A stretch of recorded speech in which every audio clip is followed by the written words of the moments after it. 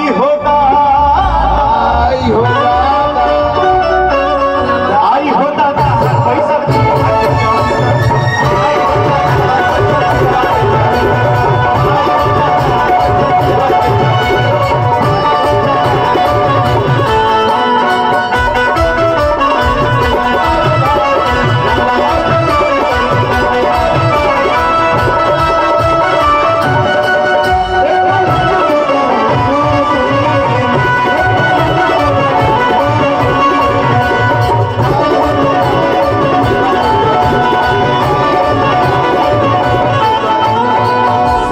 होना देवे ई तारा भर जगावेला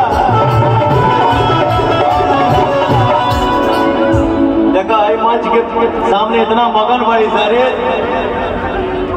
क्या बात है थैंक यू हाँ देखो कलाकार कहीं से भी कलाकारी दिखा सकता है। कलाकार करोड़ों के बीच में रहेगा लेकिन अपना छाप छोड़ के